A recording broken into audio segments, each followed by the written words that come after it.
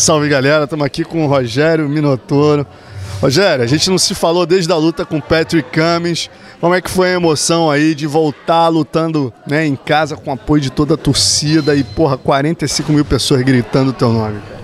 Pô, cara, foi muito bacana. Eu acho que uma das melhores sensações da minha vida. Já tinha lutado assim para muita gente assim só na época do Japão, mas lutar no Brasil com a torcida brasileira do nosso lado assim é diferente.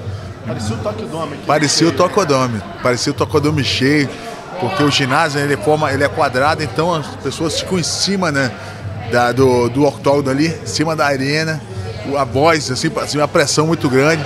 Com certeza eu acho que os adversários sentem essa pressão. E para mim é motivação pura, né? Tá em cima do, do da, tá junto com a torcida ali entrando. Então a sensação foi inexplicável, cara. Quem diria você um dos maiores rivais dos tempos da shootbox, Brazilian Top Team, né, cara?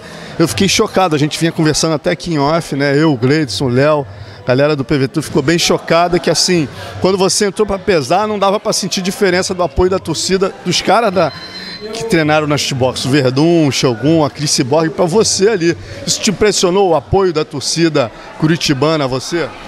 Porra, foi bacana, realmente. Eu já peguei, né, muita rivalidade ali da shootbox com a BTT. Já fui lá muito no Meca. Teve uma luta que marcou bastante, a, a luta do, do Jucão, que era nosso, né, da, da BTT, com o Anderson Silva. Então a gente pegou uma, uma época de, de, muita rivalidade. Então tinha rivalidade no ginásio, tinha rivalidade depois da luta ali. Então a gente já sentiu essa pressão. E, e dessa vez não, é diferente, né? O esporte mudou, tinha a galera é, bem mais com outra mentalidade, é brasileiro, de torcer junto os brasileiros. O pessoal de Curitiba abraçou muito o UFC. Foi impressionante, assim, dessa vez, é, como o UFC foi divulgado lá na cidade, o tanto que eles esperavam. Eu tenho certeza que o UFC vai, vai se firmar ali em Curitiba, como todo ano, um calendário ali.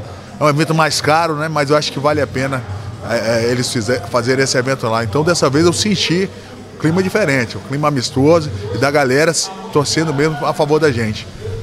E agora reza a lenda, né? O teu irmão tá trabalhando no UFC, agora ele confirmou na transmissão do combate que o próximo evento vai ser em Brasília, dia 24. Você acabou de lutar em Curitiba, Brasília daria certinho aí para você descansar do teu camp e começar novamente o treinamento. O que, que você acha da ideia, Rogério, de voltar aí a lutar, né? Voltar, quer dizer, como você bem disse, que você queria lutar mais em 2016 e fazer aí sua segunda luta no ano de 2016, novamente no Brasil, em Brasília. A ideia é boa, né? A ideia é boa. É... Eu machuquei um pouquinho meu joelho agora na, na... Nessa, nesse UFC agora, nesse último UFC. É, tomei um chute no joelho, mas estou tratando. Eu estou querendo agora ficar 100% agora para poder ver se pintar uma oportunidade se me cogitarem meu nome, me chamarem, tá 100% aí para poder pegar uma oportunidade como essa. Então, tô full time fisioterapia agora, tô treinando mais a parte de boxe, é, parte física, treinando um pouquinho menos aí o jiu-jitsu, só mais posição para poder ver se eu recupero o meu joelho e a tempo de, de se pintar a oportunidade agora lutar em Brasília.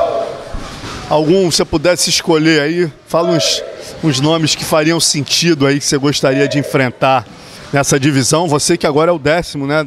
É, é, continua muito bem na divisão depois dessa vitória sobre Patrick Cummins. Tem algum cara assim que você pensa ou alguns nomes que você pensa em enfrentar? Na verdade, assim, eu queria duas revanches, né? Eu queria uma revanche contra o Shogun e uma revanche contra o Ryan Bader. Acho que foram duas lutas bem parelhas ali que, é, para mim, eu não fiquei satisfeito com o resultado. E, e, tem muita gente na categoria, vão dar uma olhada assim. E, e, com certeza tem outros adversários aí entre os 10 do, do ranking. Então me interessa mais agora estar tá lutando entre esses 10 do ranking para poder me posicionar melhor na categoria. E como é que tá a tua vida agora em termos de treinamento? Como é que foi esse primeiro camp sem o apoio do teu irmão, né, teu parceiro eterno aí, que agora está aposentado? Como é que foi esse camp?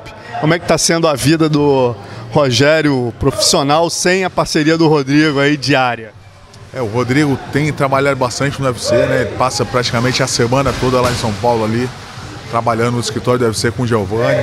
É, é diferente, né? A gente estava acostumado todo dia, a gente mora no mesmo prédio, vir junto para academia, sair junto ali, participar do mesmo camp. Mas é, agora estou adaptando, tem uma equipe forte por trás, né? o, o Rick Monster me ajudado bastante, o Vander, o Erivan, é, os outros atletas aqui do CT, tem muita gente boa aqui, o Branjão e os outros atletas peso pesado vem treinando comigo. A gente está adaptando os treinamentos. Tinha muito treino bom do jiu-jitsu realmente com o Rodrigo ali. Tinha bastante qualidade dos sparring também, estava sempre fazendo junto.